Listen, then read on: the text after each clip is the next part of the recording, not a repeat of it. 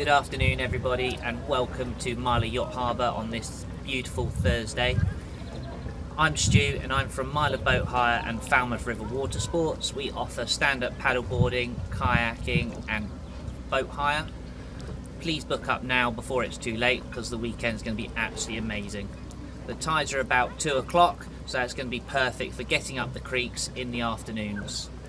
Now for the weather, Friday we've got force 2 to 3 all day with wall-to-wall sunshine.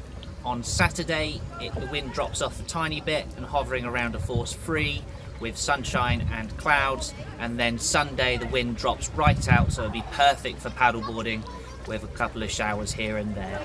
So don't miss out, book up and hopefully we'll see you down here over the weekend. Thank you very much.